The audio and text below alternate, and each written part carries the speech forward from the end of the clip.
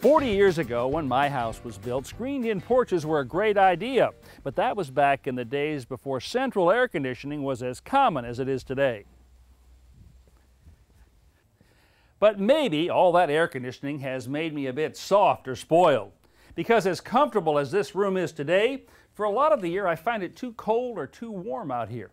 So what I want to do is make this into a Four Seasons room.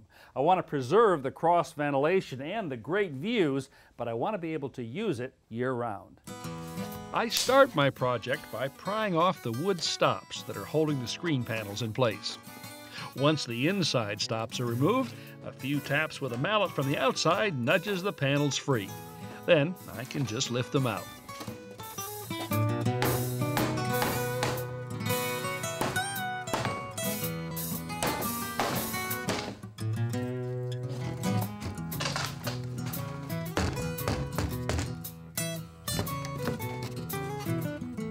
Since the porch construction is pretty straightforward, eight columns supporting the roof, about the only other demolition I have to do is to remove some trim from the posts.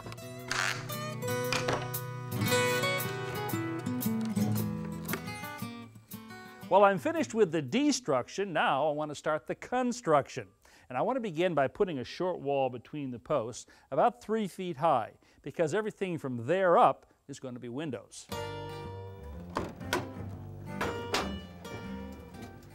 I grab a few 2x4s out of my truck for the sill and bottom plates, then cut them to length so they'll fit between the posts. The bottom board is pressure treated.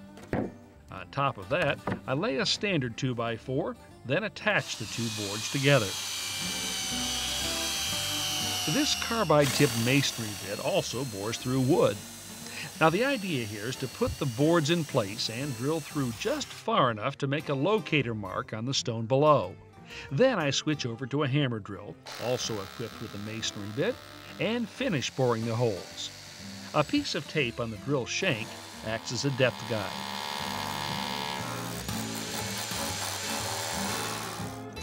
Next, I drive expansion anchor bolts into the holes I've just drilled.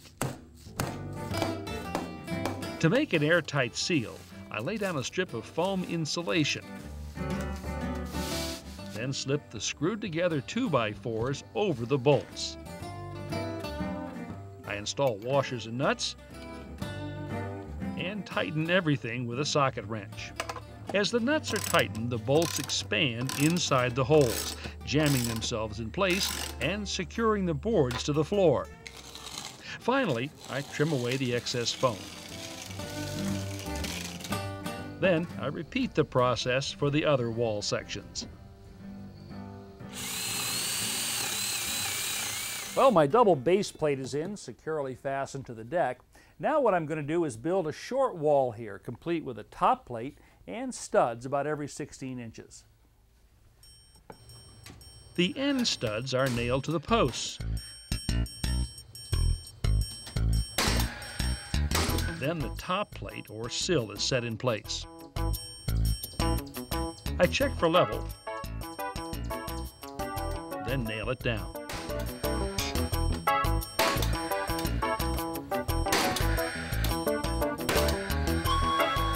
Next, I install studs every 16 inches or so, making sure they're plumb or vertical. Then, end nail at the top and toenail at the bottom.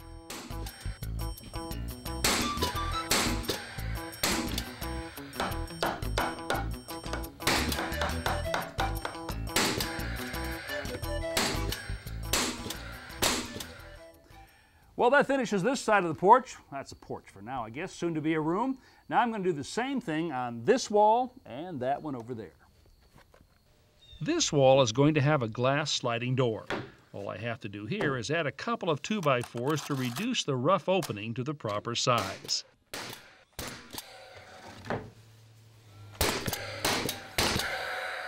Now next I want to begin to actually enclose this by applying plywood sheathing on the outside. I tilt the sheathing up, slide it into position, then attach it with a clamp. Now this leaves my hands free to work. A couple of nails along the top will hold the plywood in place.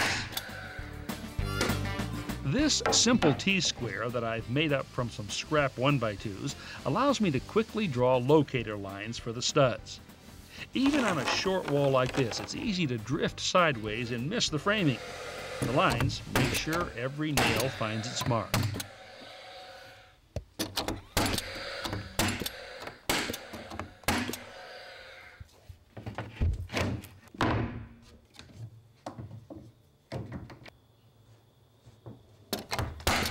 Well, I've got the beginnings of a wall. Now it's time to make sure my handiwork can resist Mother Nature's attempts to shorten its useful life.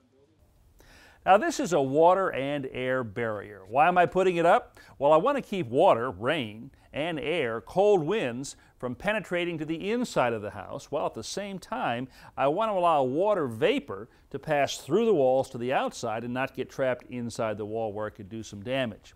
Now I've already applied it over here. I just got one section left, right here.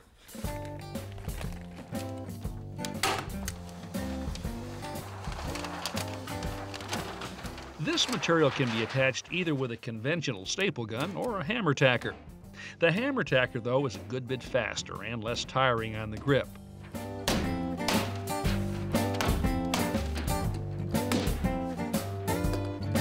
Upper pieces are lapped over lower ones so that flowing water will always be diverted to the front of the strip below and never directed behind the wrap, where it could be trapped and cause rotting.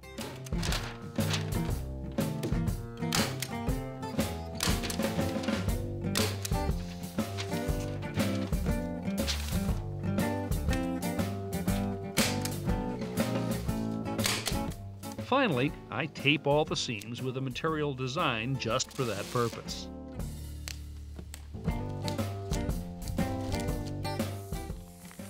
Well, I guess this is why they call it home wrap. Well, the walls are in good shape. Now I'm going to do the same for the window and door openings. This aluminum tape will create a watertight and weather-tight seal. I apply it to the sills and run it up the sides about 8 inches.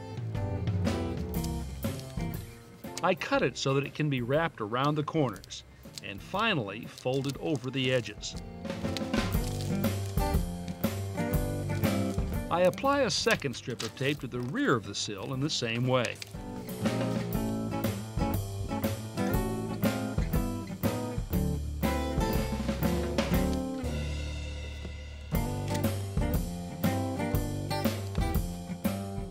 My new windows come with a metal flange that must be bent outward so that it's perpendicular to the window frame. The weather-tight seal comes from a bead of caulk that's applied to the inside of the flange. Now, installing these windows, at least the larger ones, is definitely a two-person job. So I recruit my neighbor Peter to come over and lend me a hand. After setting the bottom of the window on the finished opening, we just tilt it up into position. Wow, like a glove, huh? hey, it looks great. it you know, I'm great. really lucky to have a neighbor like you. Thanks. I've got work at my house next. Yeah, well, turnabout's fair play. I owe you one. Thanks, appreciate it. At the top, I make sure the house wrap laps over the flange. Then, nail the window in place. Well, I can't let Peter go yet. The sliding glass door is even larger than the window, but the installation is pretty much the same drill. With the windows and doors in, it's time to begin adding some exterior trim, starting with the sills. Notice the drip groove in the bottom? It'll prevent water from clinging to the underside and running down behind the shingles. I first clamp the wood in place, then secure it with screws.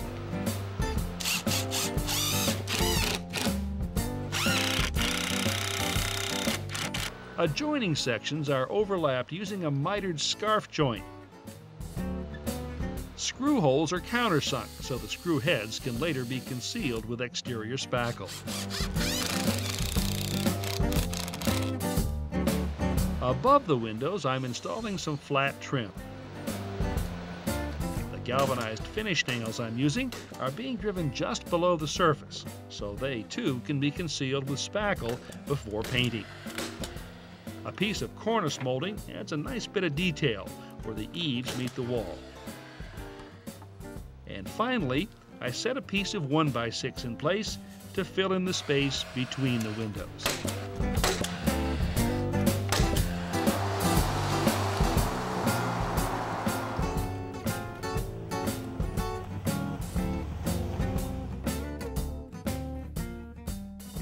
Now it's on to shingling.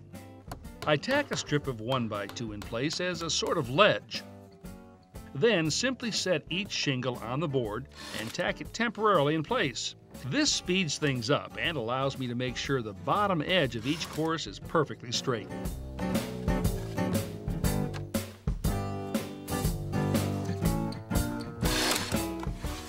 Once an entire row is set, I strike a chalk line as a nailing guide and permanently attach each shingle with two galvanized nails.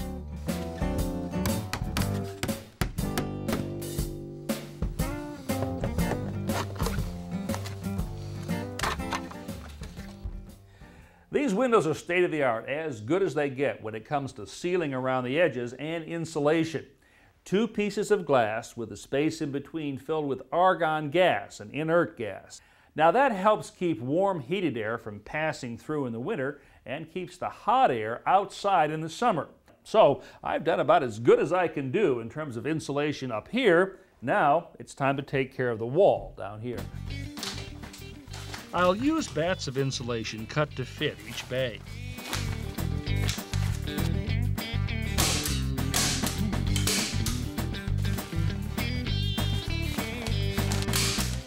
After stapling these in place, all I need to do is to cut out the openings for the electrical receptacles. The power, of course, is turned off. This paper on the back of the insulation is a vapor barrier. It's intended to prevent water vapor from passing into the wall cavity. Now when you're putting insulation like this up, make sure the vapor barrier is facing the interior living space, as it is here. Next, it's time for the drywall. Now, when it comes to driving screws for wallboard, you'll never get faster than this. This driver holds a strip of 50 screws. It's a one-handed operation that goes about as fast as I can pull the trigger.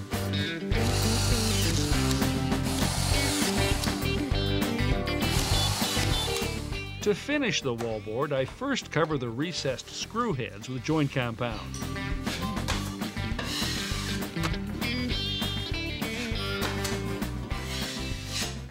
Then apply a coat of compound to the joints themselves. Now I like to wet my paper tape before applying it. For me, it sticks better and I seem to be able to avoid air bubbles.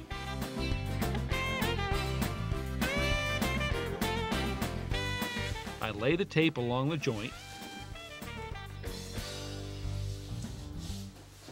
then press it into the compound, keeping the knife at a shallow angle. Taping usually requires two or three coats of compound, each one being applied with a wider knife. I tape the corners the same way, first applying a bedding coat of compound. Here, though, I fold the tape before dipping it in the water and lay the crease into the corner of the wall. Then press each flap of the tape into the compound using the putty knife.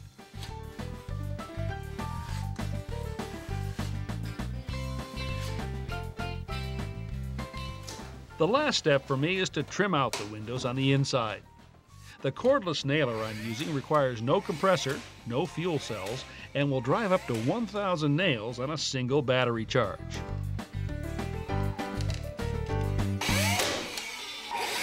Well, that finishes up this room. When the weather's good, I can open all these windows, pull down the screens, and still have the breezes and fresh air of the porch I started with. You know, I like this as a porch, but it's 20 degrees out there today, and it's warm and cozy in here. So I like it a whole lot more as a Four Seasons room.